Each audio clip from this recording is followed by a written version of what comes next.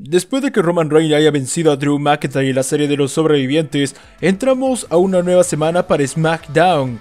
En esta noche vamos a ver algunas rivalidades que podrían iniciar para este viernes. Número 1. Daniel Bryan quiere el campeonato intercontinental de Sami Zayn. El día domingo hemos visto de cómo Sami Zayn ha perdido en su combate contra Bobby Lashley en ese encuentro de campeón versus campeón. Sami Zayn está diciendo de que supuestamente le habían robado esa victoria ante Bobby Lashley y claramente todo podría determinarse para este viernes en el cual Sami Zayn va a salir al cuadrilátero a criticar un poco acerca del arbitraje dentro de la lucha en la serie de los sobrevivientes y entraría así Daniel Bryan. Recordemos de que la semana pasada Daniel Bryan encaró a Sami Zayn, o bueno, Sami Zayn le encaró a Daniel Bryan y literalmente todo quedó ahí. Todo podría deducirse de que ambos podrían enfrentarse para el pay-per-view de TLC mano a mano por el campeonato intercontinental.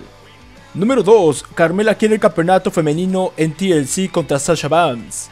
Durante estas últimas semanas hemos visto de cómo Carmela ha estado dirigiéndose contra la jefa Sasha Banks, apareciendo y atacándola, pero nunca se refirió por qué razón lo estaba atacando. Este viernes seguramente Carmela se va a dirigir al universo de la WWE para hablar y aclarar de que Sasha Banks es la próxima víctima tras sus asuntos y de que ella quiere capturar el campeonato femenino de SmackDown.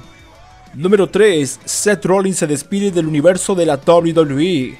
El día domingo, Rollins hizo un papelón de su vida tras ser eliminado por parte de Sheamus y ahí quedó todo. Solamente podría deducirse de que Rollins podría despedirse del universo para decir adiós por el momento, para así acompañar en el embarazo que tiene hoy en día Becky Lynch. Y así Seth Rollins podría regresar para el pay-per-view de Royal Rumble tal vez. Lo tendríamos desaparecido al Mesías de lo viernes por la noche por un tiempo. Número 4. Buddy Murphy y Dominic Mysterio tienen los campeonatos en pareja de SmackDown. Después de acabar con los demonios, Buddy Murphy tiene un nuevo camino y todo podría deducirse de que él va a ser equipo con Rey Mysterio o Dominic Mysterio o solamente le va a acompañar a Dominic y a Rey Mysterio. Con esto podría conllevar a la historia en el cual Buddy Murphy quiere conseguir un campeonato dentro de SmackDown y todo podría deducirse de que él quiere con Dominic Mysterio conseguir los campeonatos en pareja de la marca enfrentándose ante los Street Profits. ¿Qué? También podría ser otros equipos, y claramente esto es una predicción de lo que podría pasar en SmackDown para la división en parejas.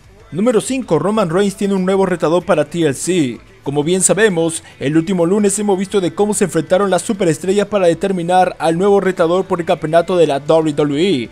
Quedaron Kid Lee, AJ Styles y Matt Riddle.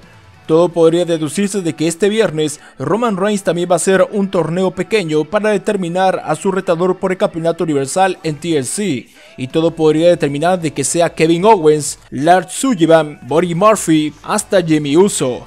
Todo podría deducirse para este viernes y esta cuestión es que Roman Reigns pueda seguir alargando su rivalidad como el campeón universal. Y bueno amigos, díganme aquí en los comentarios qué opinan acerca de esto, qué más podría pasar en SmackDown. Díganmelo por aquí en los comentarios.